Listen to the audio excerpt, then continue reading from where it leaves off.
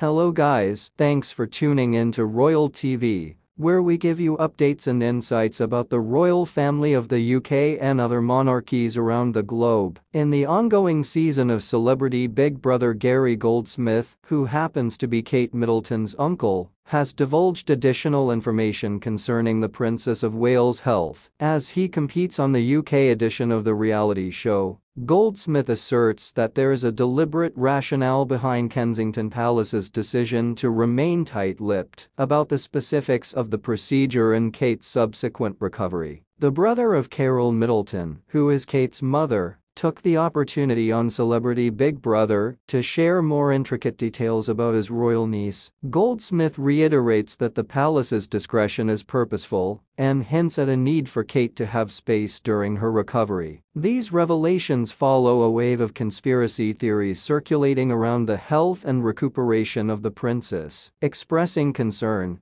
Goldsmith suggests that the public should refrain from prying into Kate's affairs, emphasizing the importance of granting her the necessary privacy during this period. He remarks on the uniqueness of Kate's situation, emphasizing that due to her remarkable role, there is always a heightened interest in her making it crucial to respect her need for space during this challenging time. Within the realm of celebrity Big Brother Gary Goldsmith, a participant in the show, continues to be a staunch advocate for Kate Middleton, vehemently refuting speculations surrounding her overall well-being. Taking a stand among his fellow contestants, Goldsmith dismisses theories circulating about his cherished niece, emphasizing her prominent status as the foremost royal. In a plea to the public, he urges individuals to afford her the necessary space during this time. Goldsmith goes on to express his belief that the contemporary generation of senior royals, particularly Prince William and Kate Middleton, is transforming the dynamics within the House of Windsor. He perceives them as family-centric individuals, acknowledging the privilege and duty that accompanies their roles, but stressing the importance of prioritizing family. Continuing his defense of Kate Middleton, Goldsmith underscores the shifting dynamics initiated by the new generation of senior royals. He notes their commitment to family as a primary focus, highlighting the duty and privilege intertwined with their roles. Concluding his sentiments, Goldsmith emphasizes the necessity for self-care,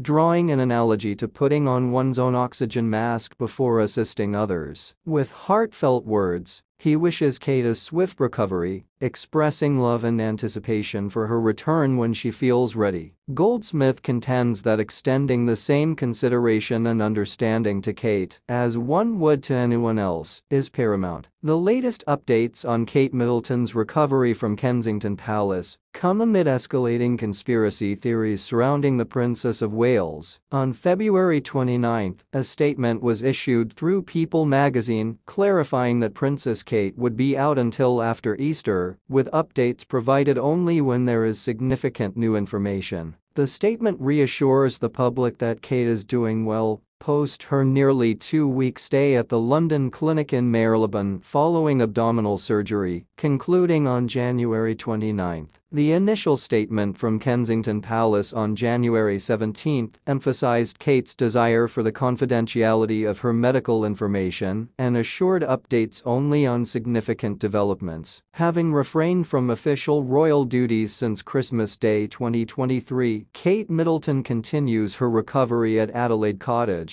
the home she shares with Prince William. Thanks for watching, stay tuned for more updates about